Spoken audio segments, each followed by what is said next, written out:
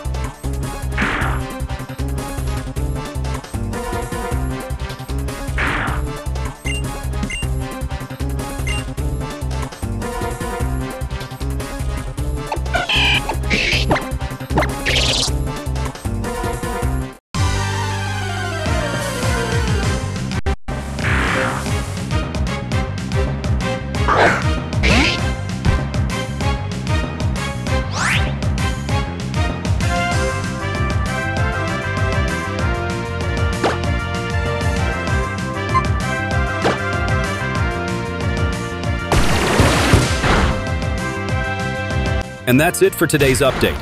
Hope you enjoyed checking out the latest improvements for Azahar and our 3DS Android emulator. If you had fun watching, don't forget to like, share, and subscribe for more game tests and emulator news. Until next time, keep playing, keep exploring, and stay awesome.